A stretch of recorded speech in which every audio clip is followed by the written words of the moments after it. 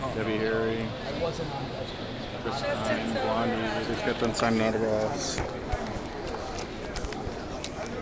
There's Chris Stein. There's Debbie Harry. She actually did a guard.